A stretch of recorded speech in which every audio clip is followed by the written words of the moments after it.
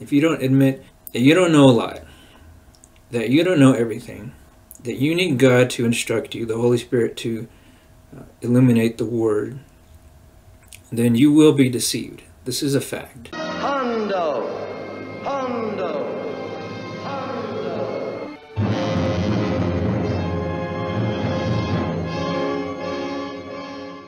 Hello, everybody, and welcome back to the Hondo channel. So, of course, I got criticized. It's becoming very normal, but that's alright. Which which raises the question: What is a false teacher? Are there false teachers? It seems like the people who who get upset with me don't even believe that there is such a thing as a false teacher. Don't condemn anybody. Don't criticize anybody. Don't criticize Finished Steak. Don't criticize Michael Heiser. God doesn't want anybody to die. He's a nice, he's a nice person. God doesn't condemn men to death. If men don't repent, that's okay. It's okay that we have false teachers, or there is no such thing as a false teacher. How do we even know that a man is a false teacher? Is it possible that you guys that love Michael Heiser have been deceived? Is that even possible? Is it possible that you know God so well that no man, no false teacher could ever deceive you? Is that possible? I don't think that's possible for any of us.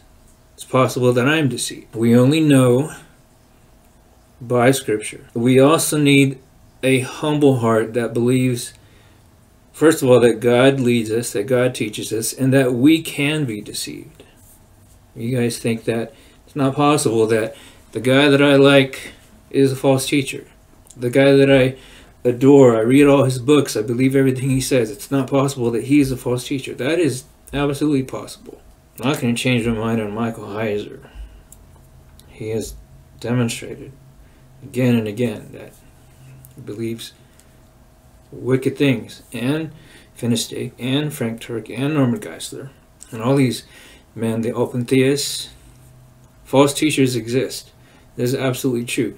You can go back to Deuteronomy 13. God allows false teachers to test his people, to see whether we are going to depend on him, seek his face, to understand his word, and obey his word. Or are we going to believe a man that tickles our ears, makes us feel good, and gives us interesting things, and tells us things that elevate us?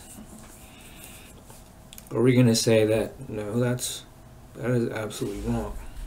If there arise among you a prophet or a dreamer of dreams, and giveth thee a sign or a wonder, King James, and the sign or the wonder comes true concerning which he spoke to you, saying, Let us go after other gods, and let us serve them. You shall not listen to the words of that prophet or that dreamer of dreams. The Lord your God is testing you to find out if you love the Lord your God with all your heart and with all your soul. You shall follow the Lord your God and fear him.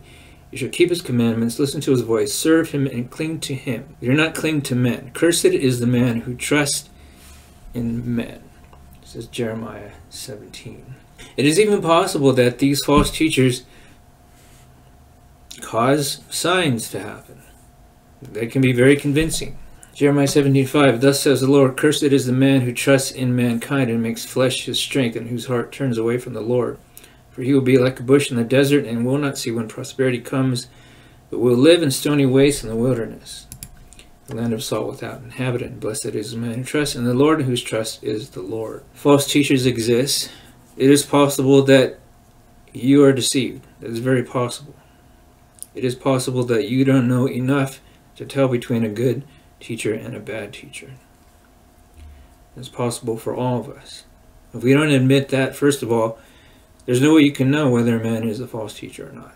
If you don't admit that you don't know a lot, that you don't know everything, that you need God to instruct you, the Holy Spirit to uh, illuminate the Word, then you will be deceived. This is a fact. And if you think that all the men that you like are true gospel ministers, and it is not possible that any of them could deceive you, because you are wise enough in yourself to understand the word completely, then you will be deceived. Because you are trusting in yourself.